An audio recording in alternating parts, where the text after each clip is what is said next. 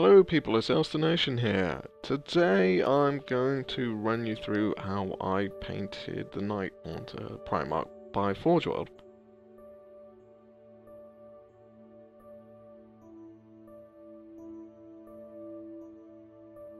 Now, anyone who watches my channel knows I'm a big Night Lords fan, so this was a uh, real excitement for me to be able to paint this um, and I thought I'd do a tutorial on it. Now what you will see is a lot of mistakes, a lot of muck-ups, a lot of backtracking and bits and bobs like that. Um, it's just this was a journey for myself, so th there's plenty of things I was learning as I was going on with this. So here are all the parts that you can see here. I've undercoated them all black. Um, I'm going to skip a few steps uh, in regards to like priming. Um, there are plenty of videos out there on YouTube which will show you how to prime models and so forth, but basically I've just primed them all black, ready to go, um, and then I'll run you through the steps. Uh, if there are any questions or if there are any bits you think I might have missed, just drop them in the comments below and I'll try and answer any questions you have.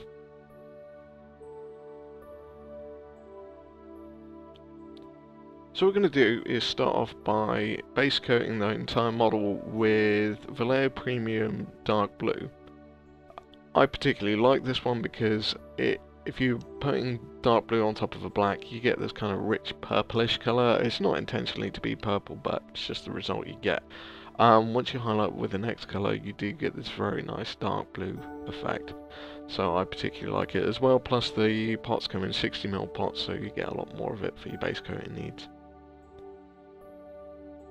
Now what you'll see throughout this video is um, I may work on a certain part of the model um, and I'll just say also do it with the rest of the parts of the model like you can see here doing the arms and the shoulder pads. Um, you may well see I'll just do the uh, body itself and then I'll say okay move on to the arms and do the same thing. Same techniques apply. Okay so now we've done the base coat and we're now going to highlight up with uh, Vallejo Premium cobalt blue, which is a nice sort of richer, um, I'm not going to say sea blue, but a, uh, a step below ultramarines, but a lot more richer than ultramarine blue. So, and this one, you're just dusting it on. Um, you don't want to heavily lay it down, uh, otherwise it's just going to obscure the dark blue and the black. Um, and we kind of want that because of the Night Haunter. Now this is a different color texture to the way Forge World have done it. So this isn't the way Forge World do it, this is just the way I do it. So um, if you don't want to do it this way, you don't have to. You can do it any way you see fit, but this is just the way I did it. Okay, now after I did the cobalt blue on, um, there's certain sort of areas on the model, like little ridges in the armor, which I wanted to pick out a little bit more. So I'm just doing a little bit of dry brushing, I mean I'm talking very very thin dry brushing, pretty much no paint on it, um, just to highlight up with those ridges, uh, and again that's using cobalt blue, um, just to try and get a little bit more of a edge highlighting, but using dry brushing, which is kind of a contradiction, but hey.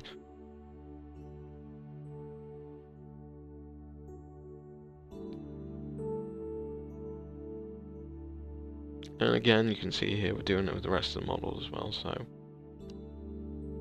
What you may find with this model is a lot of things take a lot of time, so just be patient with it. It seems very daunting at first, but trust me, as soon as you get stuck into it, you'll be rolling. Uh, this took me approximately three days to paint, um, but that's whilst filming, so that takes a lot longer, so I'd probably say you could squeeze it into about a day if you had a good run at it.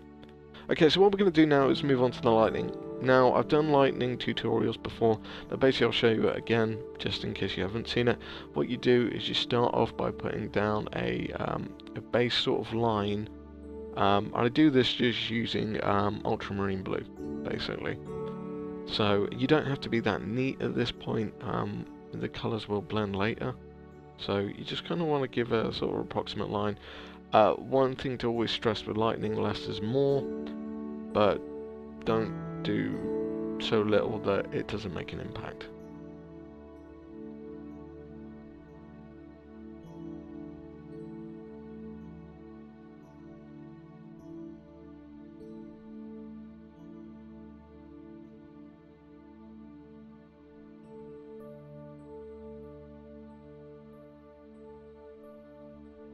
And what you can see is I'm also doing here is I'm trying to highlight up those ridges just a little bit more um, again using the ultramarine blue just to highlight up some of the ones on the arms because I thought they weren't really standing out enough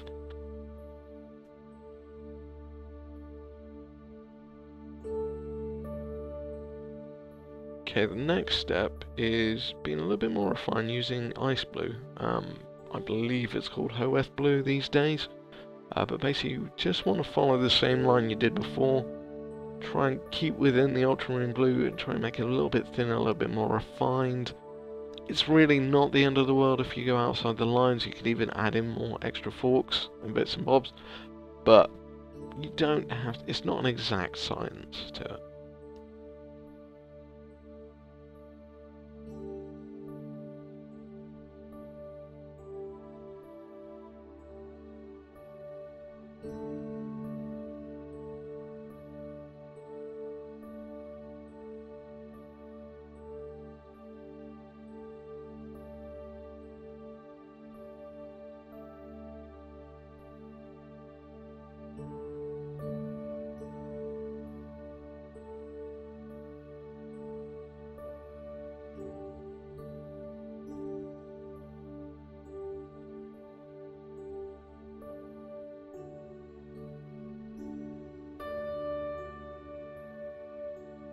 Next step is the tricky one. So this is using white. Now, I would strongly suggest thinning down your white quite a lot here. Uh, what you want to do is go very, very precisely in the lines. You want to just do small, tiny little strokes, um, staying within the ultramarine and the ice blue. Um, what you want to aim for is I, I, tend to do it this way. It's basically put white inside all of it in a very thin coat. Then when the forks join is put some more layers of white in there. So the joins, because that's where the most energy builds up, and i.e. where it splits. So what you want to do is trying to focus more light into that area. Um, again, a lot of the times you may find when you look at this closer, it doesn't look that nice, but this step after this will fix that and it will blend it all together.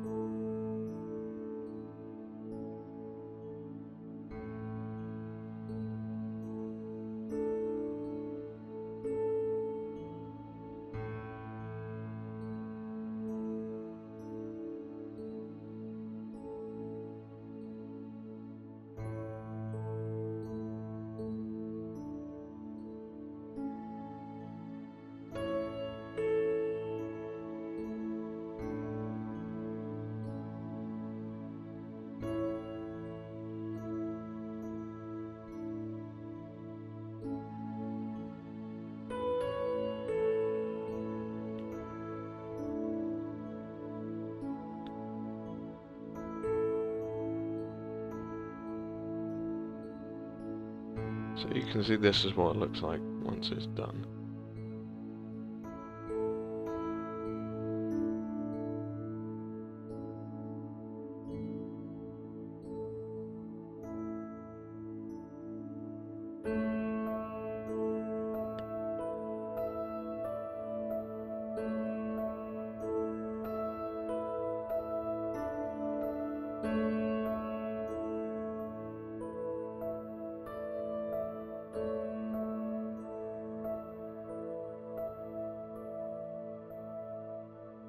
Okay, so the next bit is the, where the magic happens. Basically, what you got to do is get an airbrush, and you want to use about 10 parts thinner to 1 part paint, and you want to use white. Uh, basically, mix it up, set your compressor down to a low PSI, Um, and then what you want to do is very lightly dust on the paint. And what you can see there is you get this kind of glow effect. What it also does is merges the colours together, so um, if your lightnings are looking a little bit um, not so refined, uh, this will merge them and will blend all the colours together and give you a really nice effect. So um, apparently it's called juicing in the industry, I've been told, but hey, it's it's just something I sort of figured out one day. Um, but yeah, it could be used for glow effects as well, so keep it in mind, it's quite a handy little technique.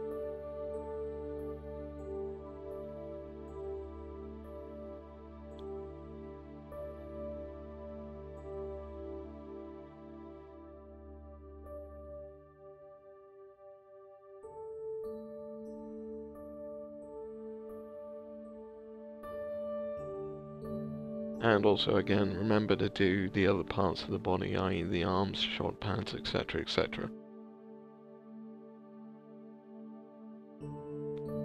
Okay, so this is probably one of the most grueling bits that about this model basically. It's doing the metallics on it, the gold especially, because the base coat and the gold takes absolutely ages. There's so much little detail and filigree and stuff on this model, um, it will take you a fair while. I mean, this is sped up about four times normal speed, um, and you can see it takes forever in a day, basically. So this bit, you're really going to want to stick some music on um, and just get to it, okay, because it's going to be one of the more tedious parts of the model.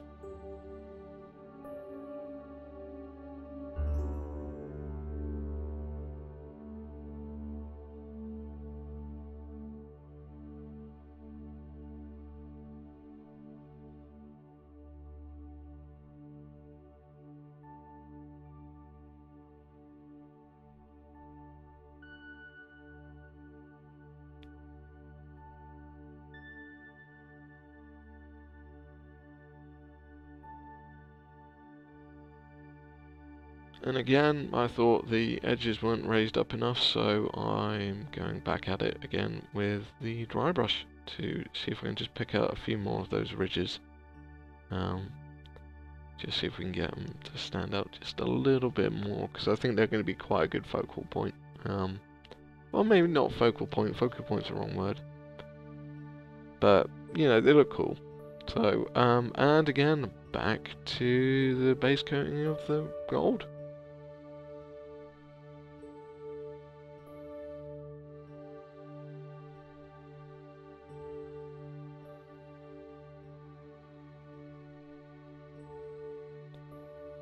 Still base coating.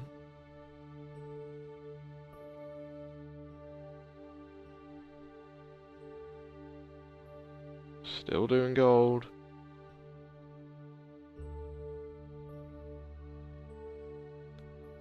Still doing even more gold.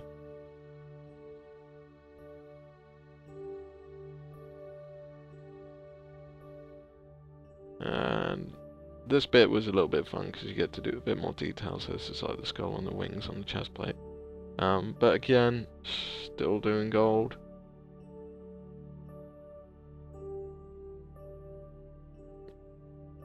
Also as well, the gold colour I'm using is Necro Gold from Scale 75.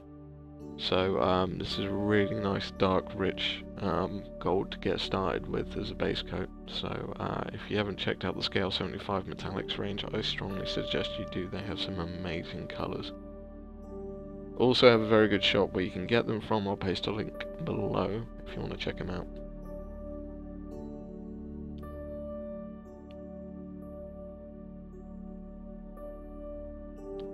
And again, more gold, but on other parts of the model. So once you've done this bit, you might want to take a break and have a cup of tea or some lunch or something like that, because it is incredibly tedious.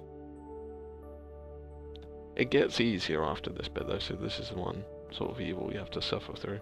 So after this bit, um, basically applying a wash of Agrax Earthshade to it. Um, I've watered it down slightly because I didn't want it overly thick. But yeah, be a little bit careful when you're applying this wash as well. You don't want it over all the rest of the blue, especially you don't want it on the lightning side of things. So just be a little bit careful when applying this.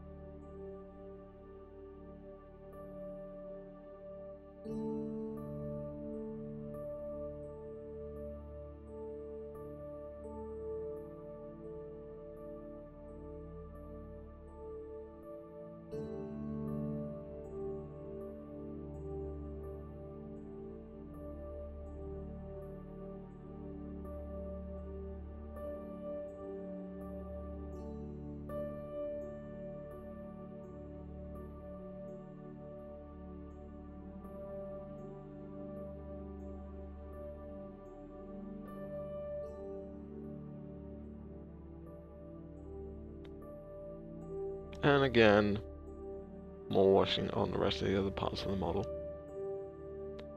The reason why I've done them all separately is easier to paint and control when all the parts are separate, um, putting them together later. Uh, it just makes life easier. Trying to paint them when it's all assembled becomes rather tricky.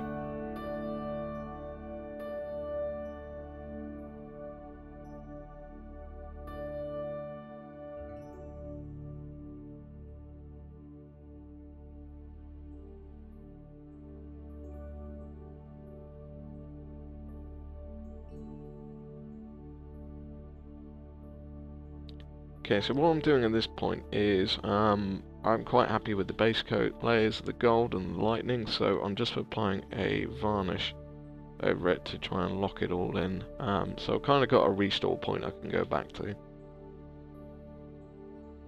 Okay, so now we're going to move on to the next bit. Now what I'm doing here is highlighting up with uh, Elven Gold.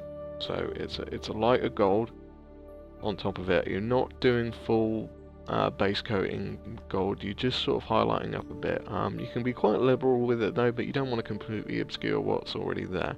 So this is just to enhance the original base coat colour.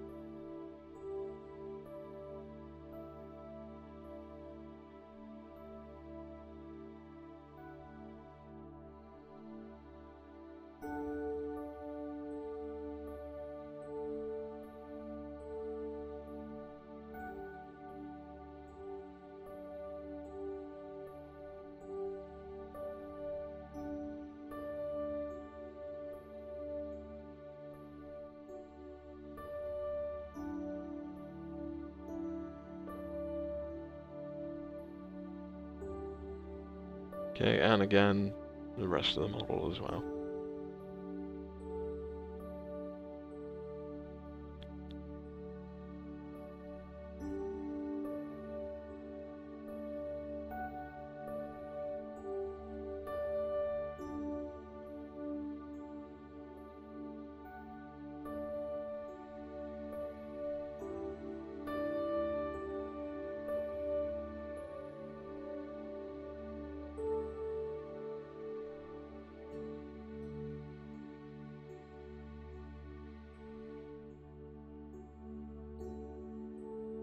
Okay, so what I'm doing here is I'm actually applying some tourmaline alchemy, again from scale 75, into the sort of membrane parts of the wings on the chest plate. Um, I wanted to kind of give it a more... This has kind of got a red tint to it, um, so it's kind of like a red metallic, because um, I just wanted to enhance the uh, Night Lord sort of variation of it. So, um, and again, I've applied a little bit more gold on top of that.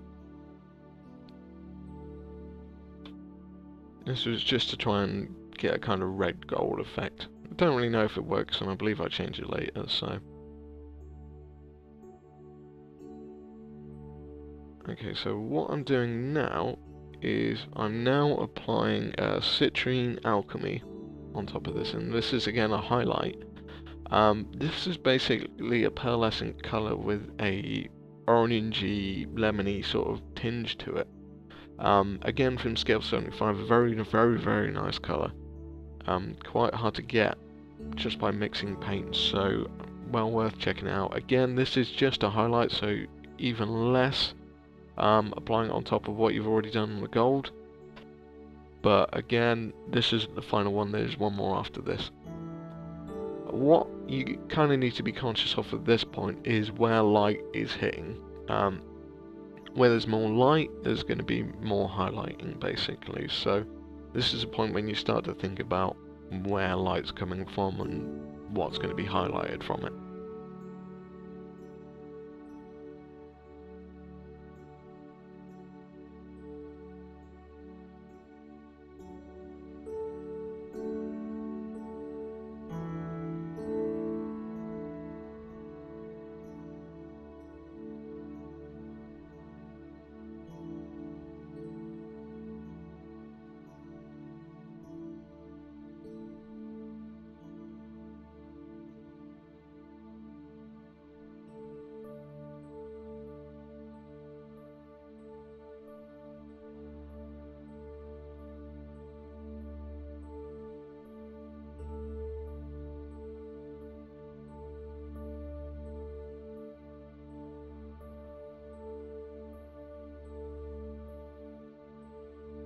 What is worthwhile mentioning as well is make sure your paints are always thinned down. Um, as many people say, many thin layers are better than one thick layer, so uh, what you may find is a lot of this doesn't look like it's actually applying a layer of paint, but it is actually.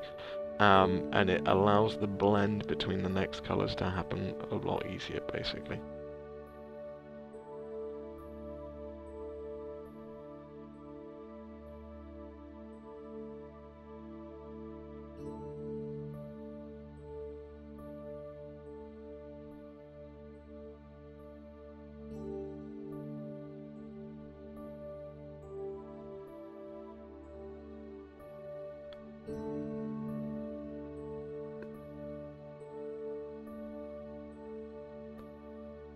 Now the reason why I'm showing you everything um, as much as I can without it being a stupidly long video um, is I always find when I'm watching a tutorial there's parts have been missed out um, really interesting key points which I wouldn't usually get so uh, I'm trying to show as much as I can without it being extravagantly long so um, people can kind of pick up on bits and bobs and stuff like that.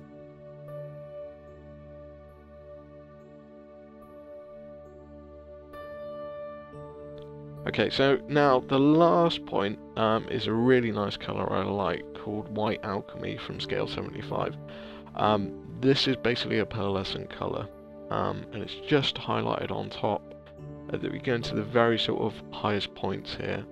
So you don't want to put much of this stuff down at all, just at the very points, um, the raised edges, um, that's kind of it basically.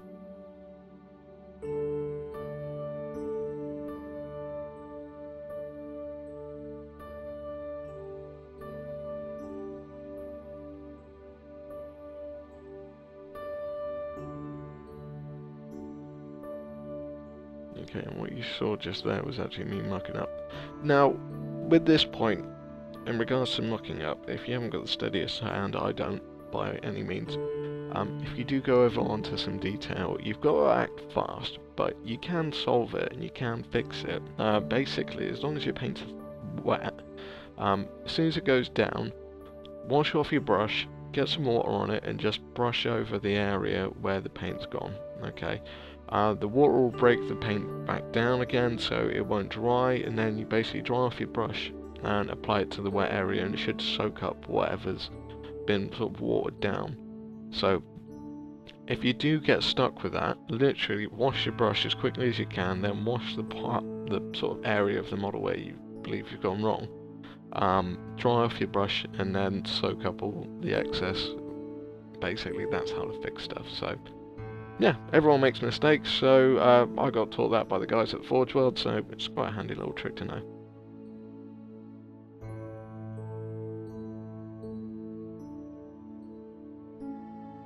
As you can see, this final sort of colour is, um, it's a lot more rapid, so you can get stuff done a lot quicker. Um, it's not as grueling as the base coat.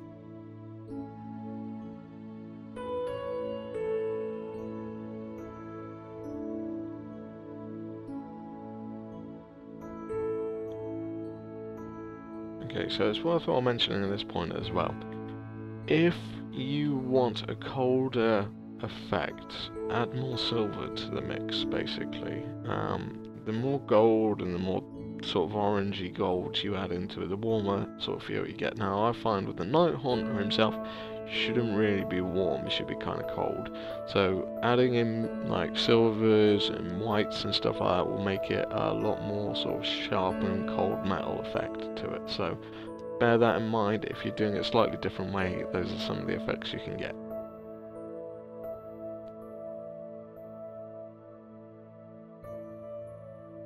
And so that kind of wraps up part one.